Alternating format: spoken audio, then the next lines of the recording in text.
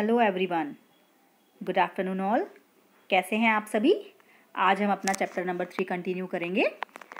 Today's topic is shapes of total product marginal product and average product curve हमारे total product की shape क्या होती है? Marginal product की शेप क्या होती है? एंड एवरेज प्रोडक्ट की शेप क्या होती है? आज उसके बारे में हम पढ़ेंगे। And increase in the amount of one of the input keeping all other inputs constant, result in an increase in output. अगर हम किस चीज़ में इंक्रीज़ करते हैं, जो हमारे पास इनपुट्स हैं, उनको इंक्रीज़ करते हैं और जो दूसरे अदर इनपुट्स हैं, उनको कांस्टेंट रखते हैं तो हमारा रिज़ल्ट क्या होगा? इंक्रीज इन आउटपुट तो हमारे आउटपुट में इंक्रीज में इंक्रीमेंट हो जाएगी।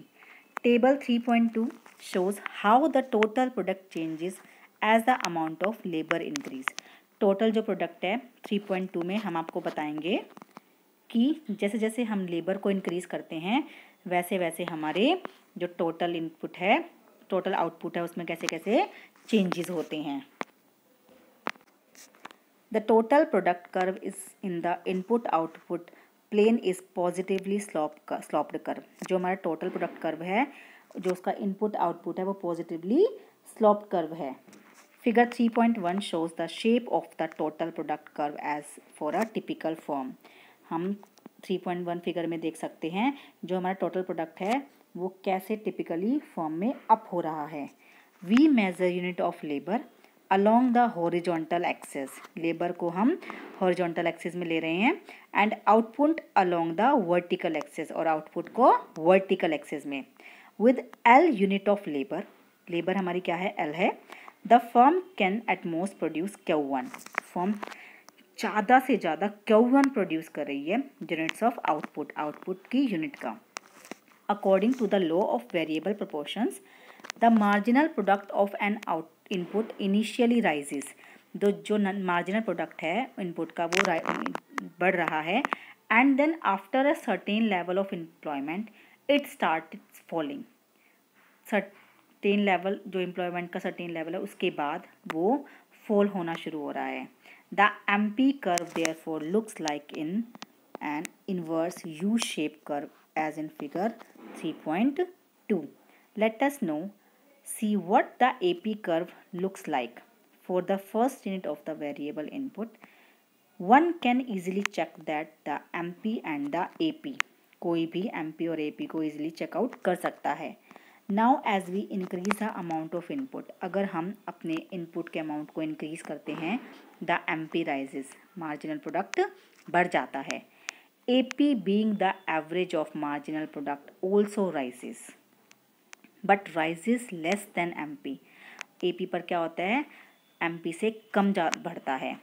Then after a point the M P start falling तो उसके बाद क्या होता है? कुछ पॉइंट के बाद एम पी भी गिरना शुरू हो जाता है। However, as long as the value of MP remains higher than the value of the AP, the AP continues to rise. AP क्या हो रहा है? बढ़ता जा रहा है। Once M P has fallen sufficiently जब एम पी गिरना सफिशेंट हो जाता है it value becomes less than the P तो जाती है? ए पी से कम हो जाती है। And the A P also starts falling और ए पी भी गिरना शुरू हो जाता है। So A P curve is also inverse U shape तो ए पी भी क्या है? यू शेप का इनवर्स है, उल्टा है. As long as the A P increase जैसे जैसे ए पी इंक्रीज होता है it must be the case that M P is greater than A P तो हमारे पास क्या केस मिलता है कि एम पी ज़्यादा है किससे ए पी से. Otherwise A P cannot rise otherwise A P rise नहीं कर सकता. Similarly when A P falls A P गिरता है. M P has to be less than M P less than हो जाता है ए पी से। It follows that M P curve cuts A P तो यहाँ पर क्या करता है? एम पी ए पी को कट कर देता है। कर्व फ्रॉम अबव एट्स इस मैक्सिमम जो मैक्सिमम लेवल पर होते हैं तो वो एक दूसरे को कट कर देते हैं। Figure three point two shows the shape of A P and M P curve for a typical form the A P of factor one is maximum at L maximum point क्या इनका? L है। To the left of L AP is rising and MP is greater than AP. To the right of L, AP is falling and MP is less than AP. Next one is return to scale. The law of variable proportions arises because factors proportions changes as long as one factor is held constant and other is increases. The law of variable proportions. जब हमारे variable proportions जो होते हैं because of factor proportion changes अगर उनके factors changes होते हैं as long as one factor is held constant अगर उनका एक जो फैक्टर है वो कॉन्स्टेंट रहता है तो अदर इज़ इंक्रीज तो दूसरे क्या हो जाते हैं? इंक्रीज हो जाते हैं। With what if both factors can change जब क्या होता है, तब क्या होता है, जब दोनों के दोनों फैक्टर्स चेंज हो जाते हैं।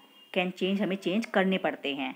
Remember that this can happen only in the long term ये याद रखना कि ये कब होगा? लॉन्ग टर्म में होगा। One specially case in the long run occurs when both factors are increase by the same proportion और factors are scaled up long run में क्या होगा? दोनों के दोनों फैक्टर्स इंक्रीज होंगे सेम प्रोपोर्शंस में सेम क्वांटिटी में।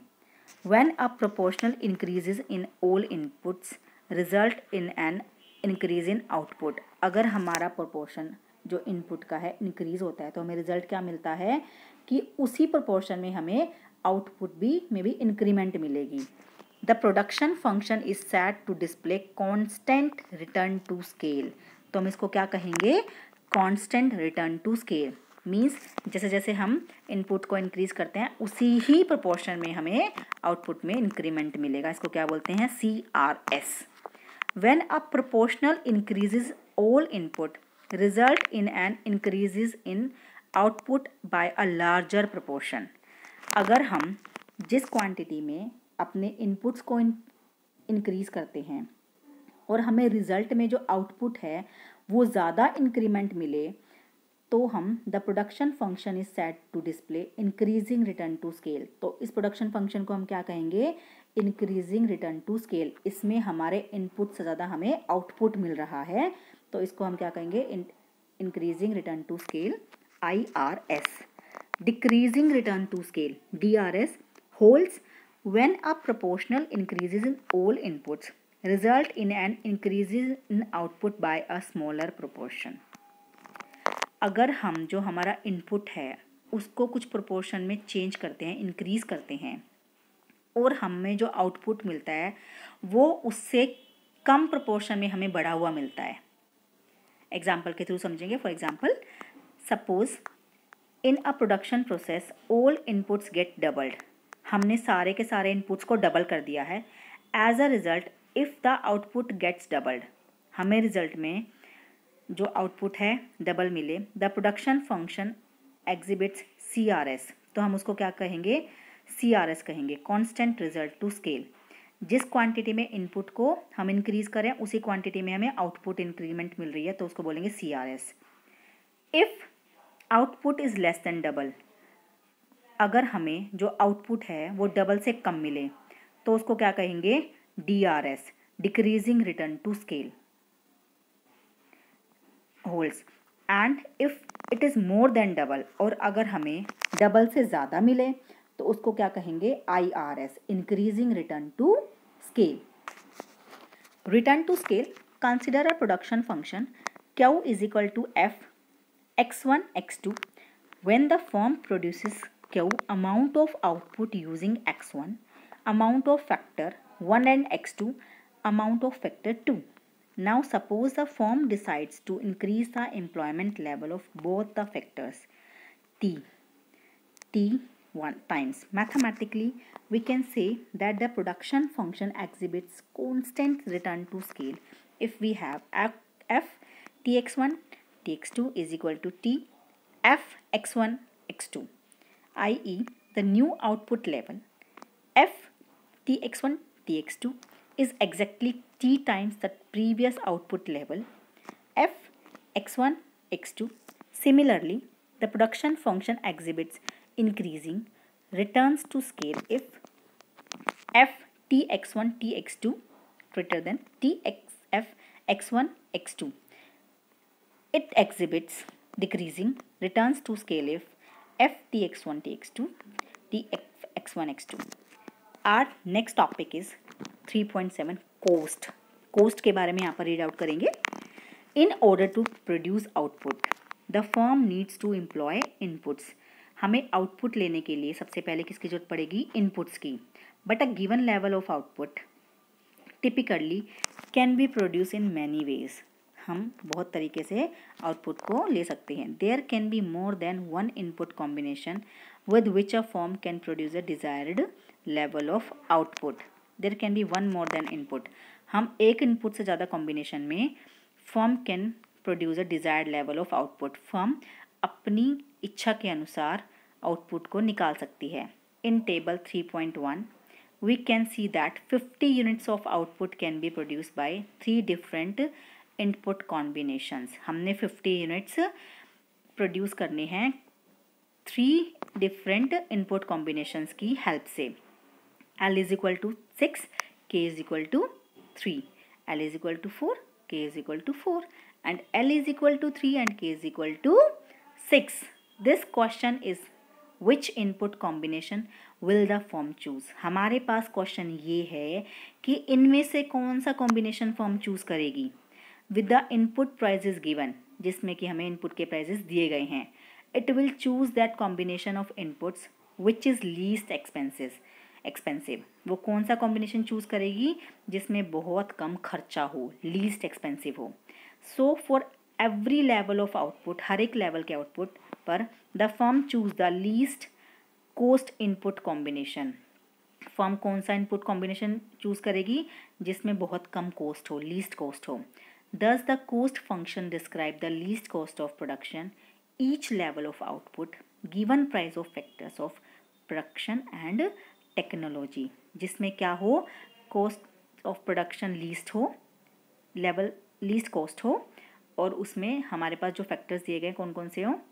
Factors of production and technology Cobb Douglas production function consider a production function Q is equal to X one A X two B where A and B are constant A और B constant है the form produces Q amount of output using X one amount of factor one and X two amount of factor two This is called a Cobb double production function. Suppose with x1 is equal to x1 and x2 is equal to x2, we have QO unit of output. We can see these equations. Functions. If we increase both the input t, t 1 times, we get the new inputs. That is input increases t times. So the production function exhibits CRS Similarly, when AP1, the production function exhibits IRS when A plus B greater than 1 if the production function exhibits TRS. Short run cost. Short run cost क्या होती है इसके बारे में हम read out करेंगे we have previously discuss the short run and long run cost हमने पहले डिस्कस किया है कि शॉर्ट रन कॉस्ट क्या होती है long run cost long run क्या शॉर्ट रन और लॉन्ग रन क्या होता है। अब हम रीड आउट करेंगे शॉर्ट रन कोस्ट को और लॉन्ग रन कोस्ट को। इन द शॉर्ट रन छोटे पीरियड में जो छोटा टाइम होता है some of the factors of production can not be varied and therefore remain fixed factors और जो प्रोडक्शन होते हैं वो वेरिड नहीं होते और वो फिक्स्ड होते हैं। The cost that a form incurs to employ these fixed inputs is called the total fixed cost whatever amount of output and firm produces. इसमें क्या होता है? जो हमारे पास आउटपुट मिलता है, वो फॉर्म प्रोड्यूस करती है। This cost remains fixed for the form ये कॉस्ट किसी भी फॉर्म के लिए फिक्स होती है। To produce any required level of output the firm in the short run. किसी भी जो भी रिक्वायरमेंट होती है, वो शॉर्ट टर्म में प्रोड्यूस करते हैं। Can adjust only variable inputs वो कौन से इनपुट्स को एडजस्ट करते हैं? वेरिएबल इनपुट्स को। Accordingly the cost that a firm incurs to employ these variable inputs is called the total variable cost इसको बोलते हैं total variable cost adding the fixed and the variable cost we get the total cost T C of a firm T C is equal to T V C plus T F C in order to increase the production of cost the firm must employ more of the variable inputs जब हमारे output increase होते हैं तो firm की जो employ है, वो भी उनके भी वेरिएबल में चेंजेस होते हैं। As a result total variable cost and total cost will increase तो रिज़ल्ट क्या होता है? टोटल वेरिएबल कॉस्ट और टोटल कॉस्ट इंक्रीज हो जाती है। इंक्रीज हो जाएगी। Therefore as output increases total variable cost and total cost increases अगर हमारा आउटपुट इंक्रीज होता है तो टोटल वेरिएबल कॉस्ट और टोटल कॉस्ट भी इंक्रीज हो जाती है। In table three point three we have an example of cost function of a typical form हमारे पास कौन सा एग्ज़ाम्पल है? टिपिकल फर्म की कोस्ट का the first column shows different level of outputs जो हमारा फ़र्स्ट कॉलम है, वो कौन क्या दिखाता है? डिफरेंट लेवल्स ऑफ़ आउटपुट को दिखाता है। We can see three point three table there is a table T F C T V C T C A F C A V C C A C S M C S A C S M C for all levels of output the total fixed cost is rupees zero हर एक level पर out जो all levels of output हर एक output के level पर हमारी total cost क्या है? फिक्स्ड है, वो है rupees twenty you can see twenty हर एक लेवल पर. Total variable cost increase total variable cost increase as output increase total variable cost कब इंक्रीज होता है? जब हमारा आउटपुट इंक्रीज होता है। विद आउटपुट ज़ीरो जब हमारा आउटपुट ज़ीरो है तो हमारी टोटल वेरिएबल कॉस्ट भी क्या होगी? ज़ीरो होगी। फॉर यून वन यूनिट ऑफ़ आउटपुट अगर हमारे पास आउटपुट वन यूनिट है तो हमारी टोटल वेरिएबल कॉस्ट क्या होगी? टेन अगर हमारे पास आउटपुट टू यूनिट है तो हमारी टोटल वेरिएबल कॉस्ट क्या है? अठारह या और भी ज़्यादा। In the fourth column we obtain the total cost as the sum of the corresponding value in the second column total T F C total fixed cost and third column T V C we can see here T F C T V C and T C you can see zero zero total cost क्या है? Twenty one पे क्या है? T F C तो constant चल रही है।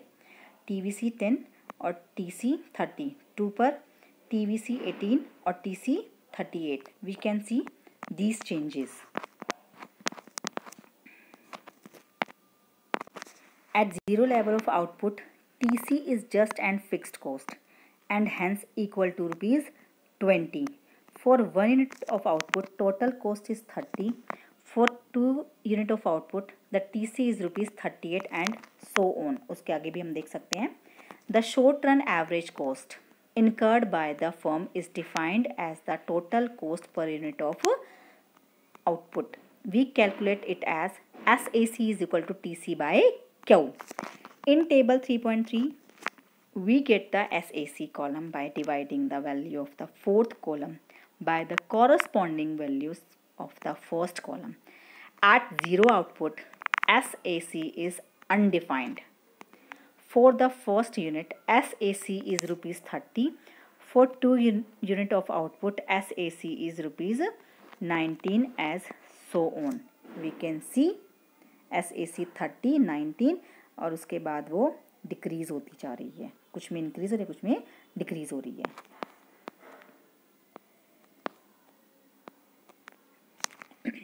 Similarly, the average variable cost AVC is defined as the total variable cost per unit of output. We calculate it as AVC is equal to TVC by Q.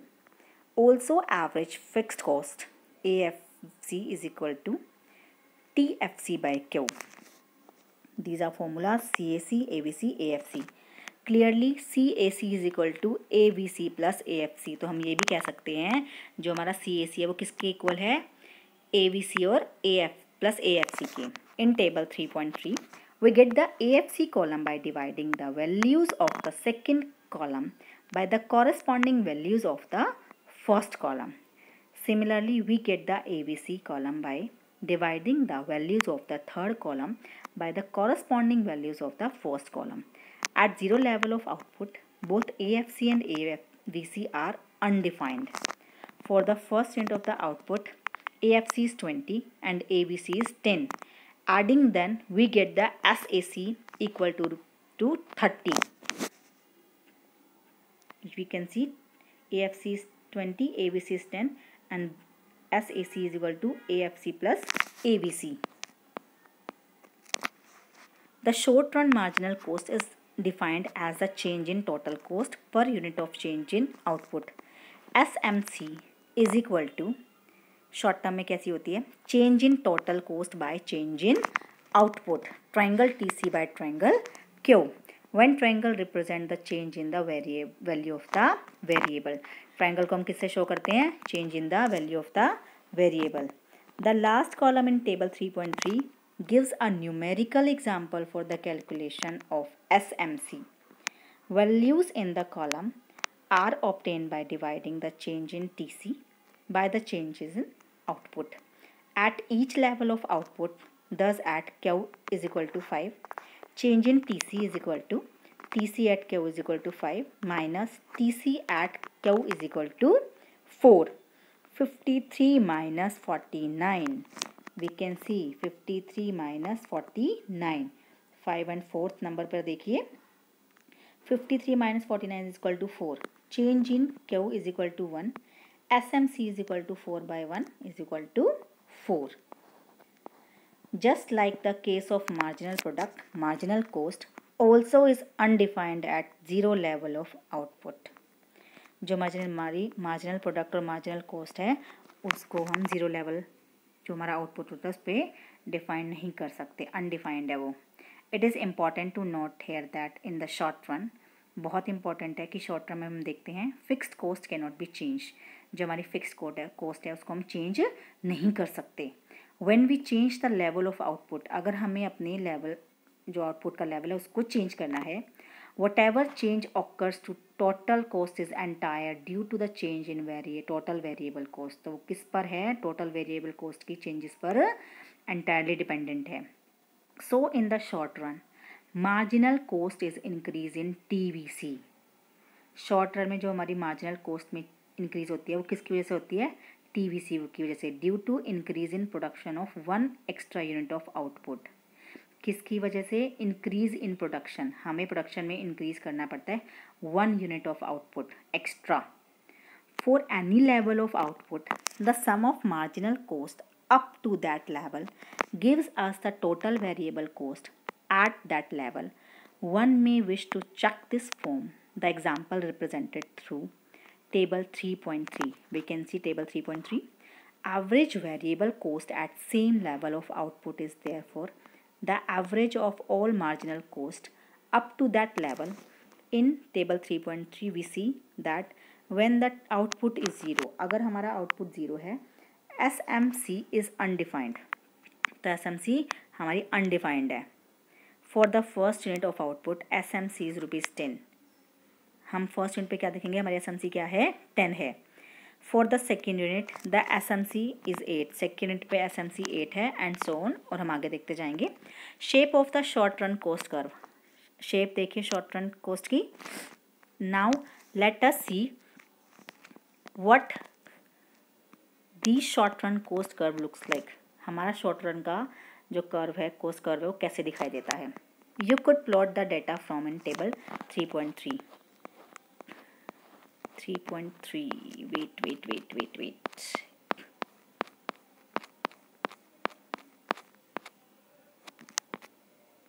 there is our table 3.3 we can see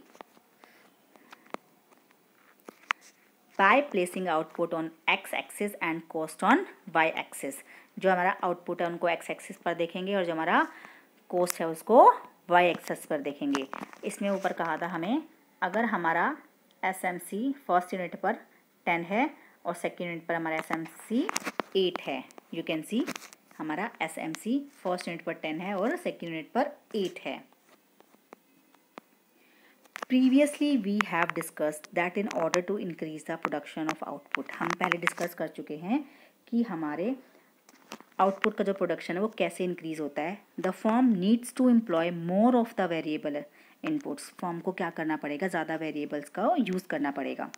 This result in an increase in total variable cost तो इसका result क्या होगा? हमारी total variable cost increase हो जाएगी। And hence an increase in total cost therefore as output increases तो हमारा output भी क्या हो जाएगा? इंक्रीज हो जाएगा। Total variable cost and total cost increases total fixed however is independent of the amount of output produced and remains constant for all level of products production figure 3.3 illustrate the shape of total fixed cost 3.3 हमें दिखा रही है कि total cost कैसे दिखाई दे रही है हमें fixed cost total fixed cost की shape क्या है we can see TFC total variable cost and total cost curve for a typical firm ये क्या है? टिपिकल फॉर्म है। We placed output on X axis and cost on Y axis T F C is a constant T F C we can see constant है। T F C is a constant which takes the value C one and does not change with the change in output वो change output के changes के उससे change नहीं हो रही है। It is therefore a horizontal straight line cutting the coast axis at point C1. At K1, TVC is C2 and TC is C3. AFC is the ratio of TFC to Q. TFC is constant. Therefore, as Q increases, AFC decreases when output is very close to 0. You can see. close to zero afc is arbitrarily large and as output moves towards infinity afc moves towards zero afc curve is in fact a rectangular hyperbola if we multiply any value q of output with its corresponding afc we always get a constant namely TFC. Figure 3.4 क्या show कर रही है हमें we can see the shape of average fixed cost curve for a typical form, we measure output along the horizontal axis and AFC along the vertical axis at Q1 level of output we get the corresponding average fixed cost at F. The TFC can be calculated as TFC is equal to AFC multiplied by quantity OF multiplied by OQ1. OF multiplied by OQ1. The area of the rectangle OFCQ1. OFCQ1. This area. We can also calculate AFC from TFC curve in figure 3.5. The horizontal straight line cutting the vertical axis at F is the TFC curve at Q0 level of output total fixed cost is equal to OF at Q0. The corresponding point, point on the TFC curve is A. Let the angle AOQ0 be the AFC at Q0 is AFC is equal to TFC by quantity. We can see AFC is equal to TFC by quantity. AQ0 AQ0 by OP0 is equal to tangent 0.